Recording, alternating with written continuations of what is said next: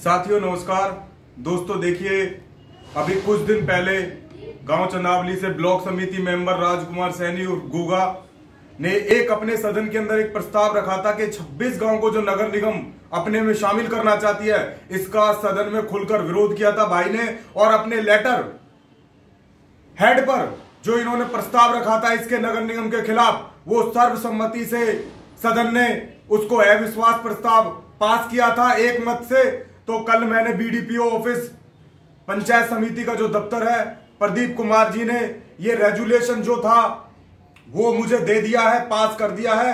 तो मैं भाई गोगा का और इनकी समस्त जो पंचायत समिति की जो पूरी इनके सभी साथी हैं और खासकर जो चेयरमैन है गीता हुड्डा जी का, मैं तहे दिल से और 26 गाँव की तरफ़ से इन दोनों भाइयों का और बहन जी जो हमारी गीता हुड्डा जी है, उनका तहे दिल से मैं धन्यवाद करता हूँ। और इस लड़ाई को हम मजबूती की ओर बढ़ रहे हैं क्योंकि एक हमारे पास एक मजबूती के साथ जो ये लेटर मिला है तो मैं फिर से पंचायत समिति मेंबर गीता हुड्डी गीता हुड्डा जी जो चेयरमैन और भाई राजकुमार गोगा जिन्होंने मजबूती के साथ सदन में आवाज़ रखी। भाई, एक ज़िंदा दिल शेर इंसान है। सबसे पहले भाई ने आवाज़ उठाई थी और लिखत में ये हमें मिला है। तो मैं भाई राजू और गोगा का दिल से धन्यवाद करता हूँ छब्बीस गाँव की तरफ़ से।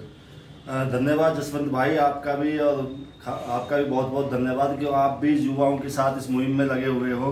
क्योंकि 26 गाँव अगर नगर निगम में जाते हैं तो सबका ही नुकसान होगा। तो इस मुहिम में सबसे पहले महिपाल आर्य जी सरपंच हैं पूरे फरदाबाद समिति के। अध्यक्ष भी हैं वो।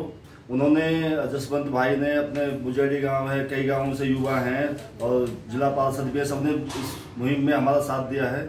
और जहाँ भी जसवंत भाई, महिपाल जी और हमारे जो भी साथी इस मुहिम में लगे हुए हैं, हम सबका तय दिल से धन्यवाद करते हैं और आप सबके साथ हम एकजुट होकर इस लड़ाई में लड़ेंगे साथ।